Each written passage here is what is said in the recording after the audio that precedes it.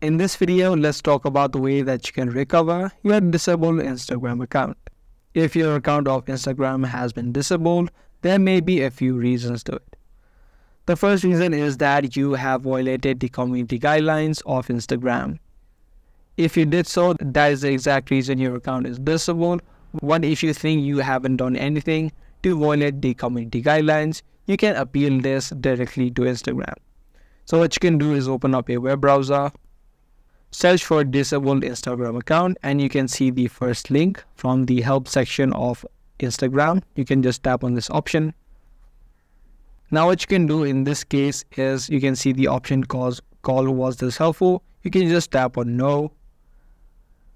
Tap on the solution does not work and you can type in a message directly to Instagram. So you can type in the exact explanation that you have for the account have being disabled and you can just tap on submit. If Instagram now thinks you haven't done anything, your Instagram account will again be enabled within a couple of days.